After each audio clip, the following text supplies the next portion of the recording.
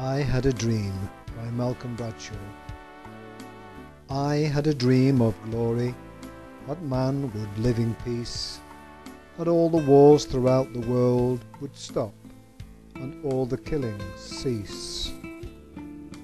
I had a dream the world was free from famine and decay, that all of those that suffer their pain would ease away.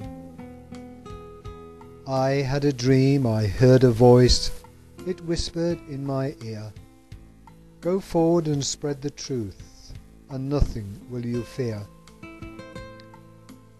I had a dream that all was still, that peace was in place of war, that all the people on the earth would never fight no more.